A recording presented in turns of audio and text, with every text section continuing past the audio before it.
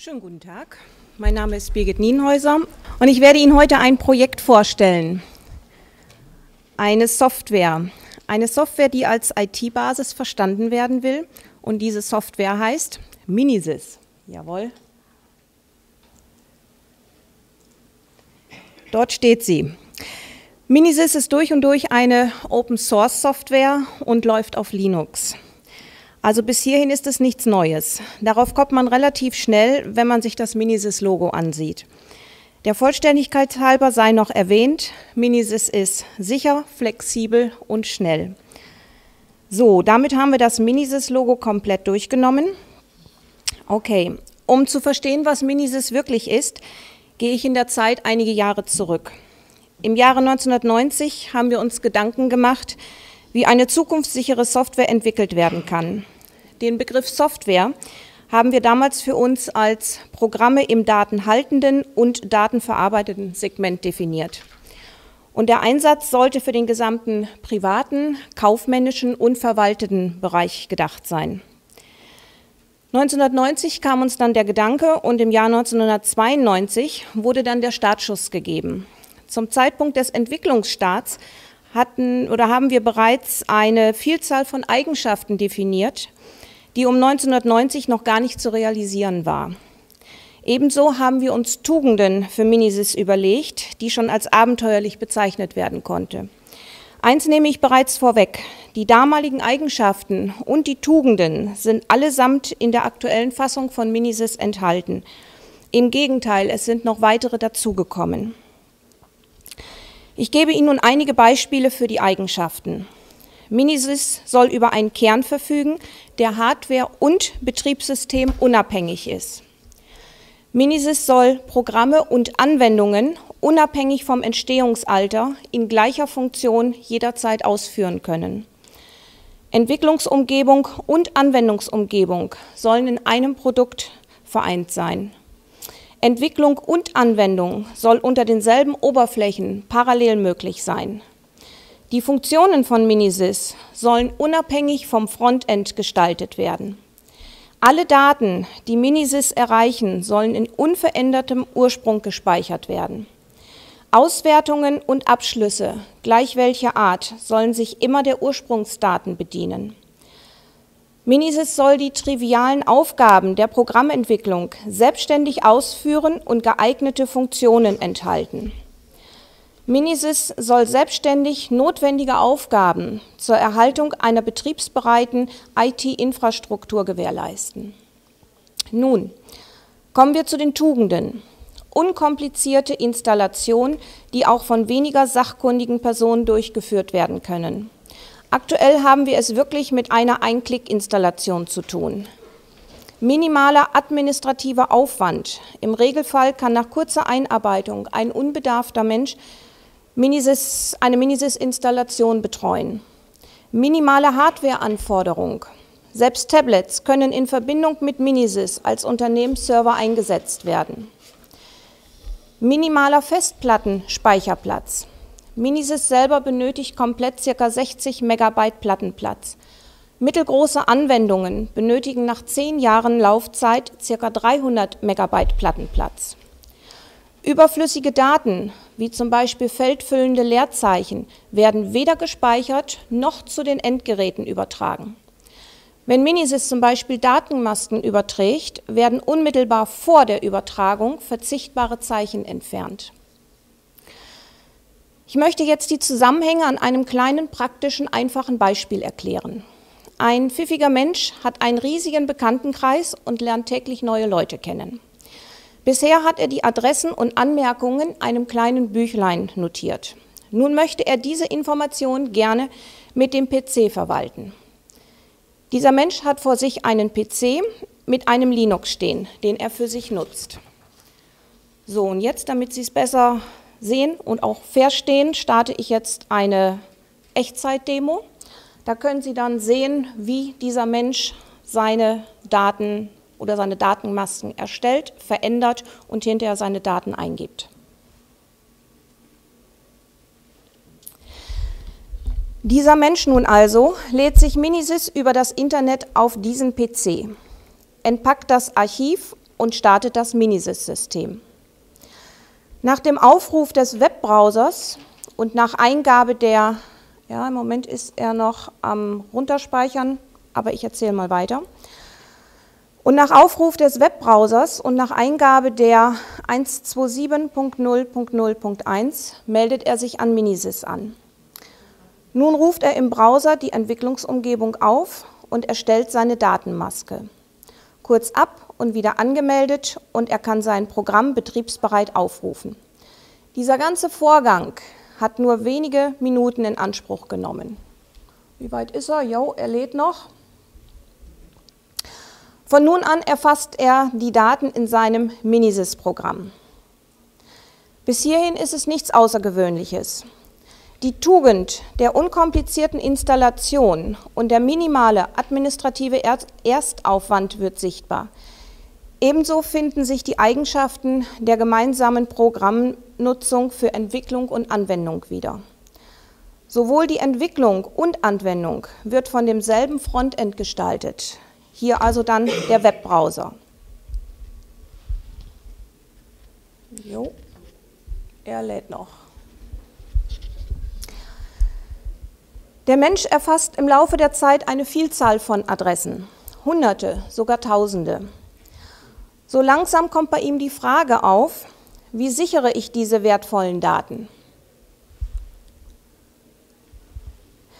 Nun, Minisys stellt hier das sogenannte Stick-Backup zur Verfügung. Ein einmal legitimierter USB-Speicherstick oder eine legitimierte USB-Festplatte löst durch das bloße Anstecken den Backup-Vorgang aus. Weitere Aktionen bedarf es nicht. Aber gut, die Geschichte geht weiter.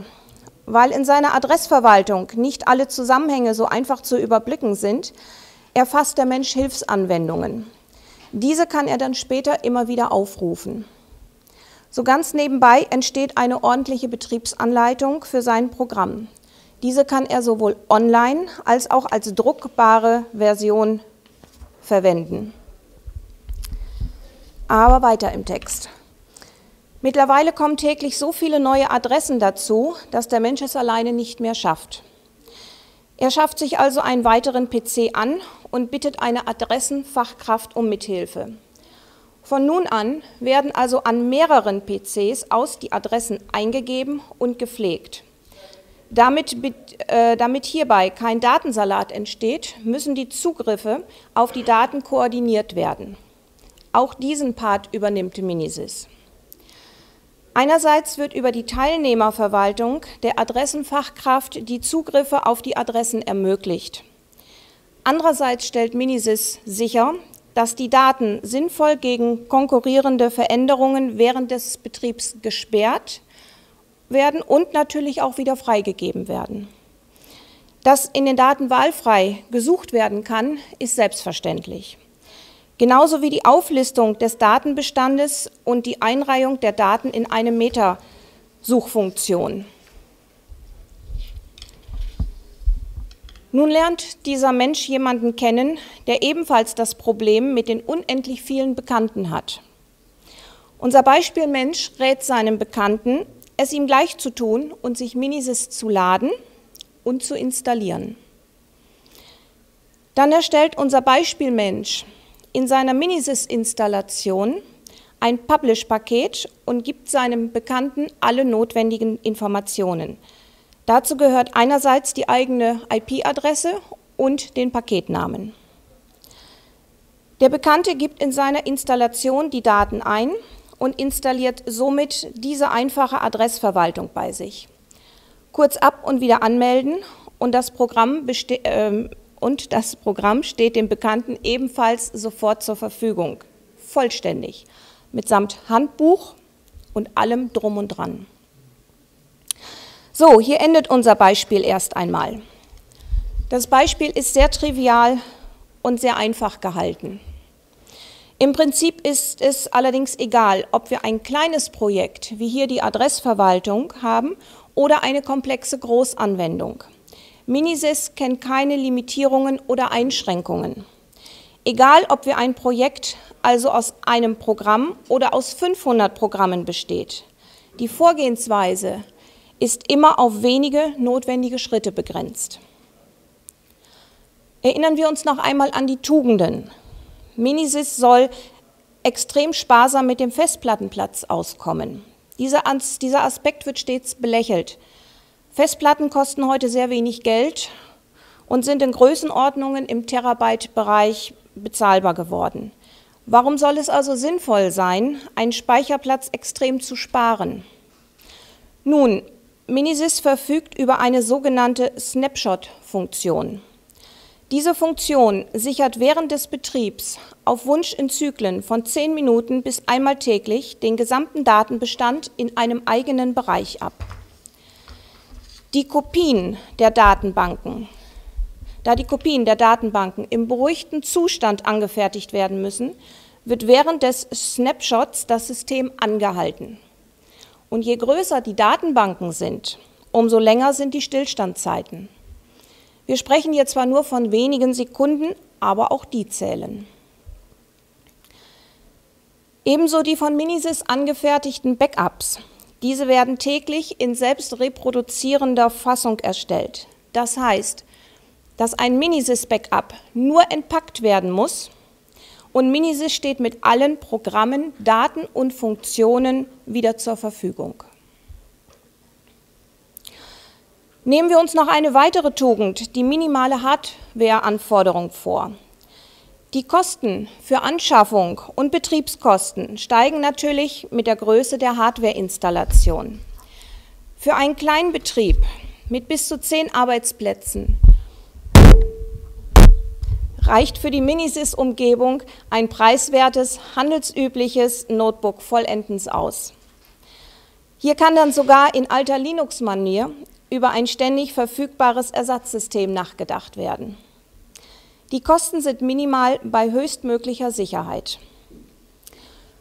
Übrigens zu den Kosten und Notebook und Minisys. Ein günstiges Notebook kostet heute circa um die 400 Euro. Linux drauf, die Kosten sind immer noch bei 400 Euro.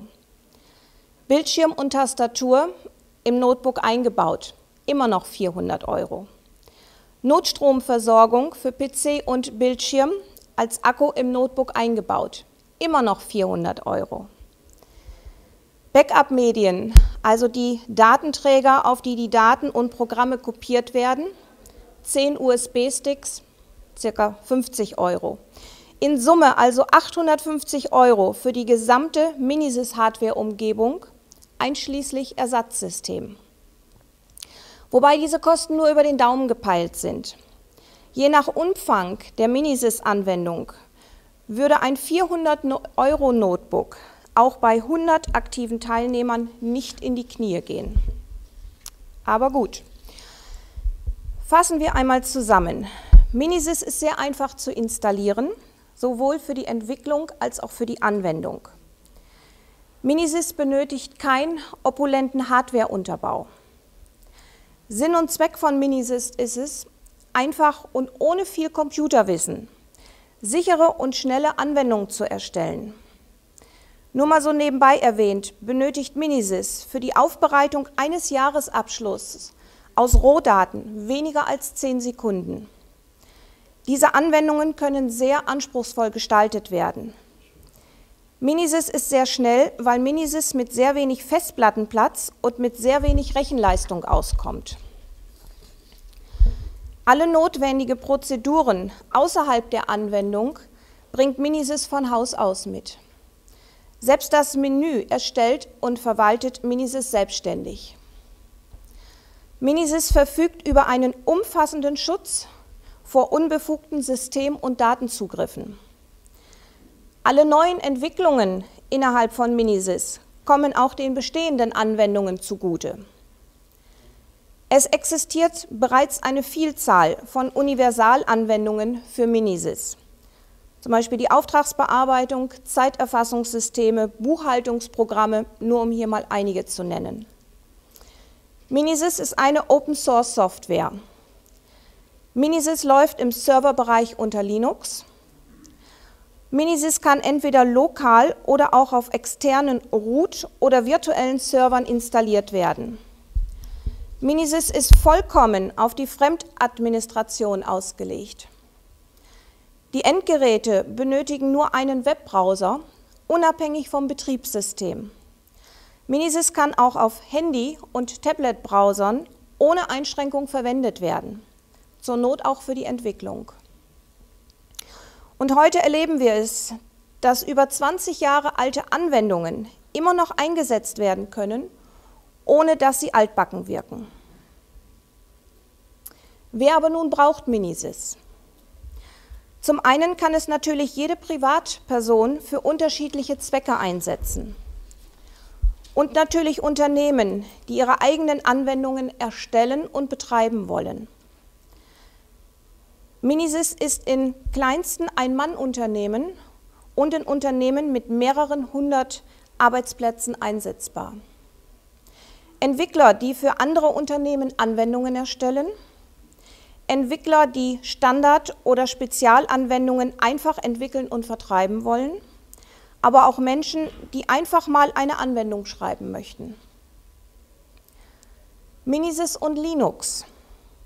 Der Entwicklungsstart erfolgte zu DOS-Zeiten. Danach kam Windows zum Einsatz, aber irgendwann stellten wir zwei gravierende Dinge fest. Zum einen war Windows für unsere gesetzten Ziele in der Minisys Entwicklung zu sehr begrenzt und zu unzuverlässig. Äh, Zum anderen schränkte uns Windows ständig in irgendeiner Weise ein. Also war die logische Konsequenz, Minisys auf eine andere Plattform zu stellen. Und da bot sich dann natürlich Linux an.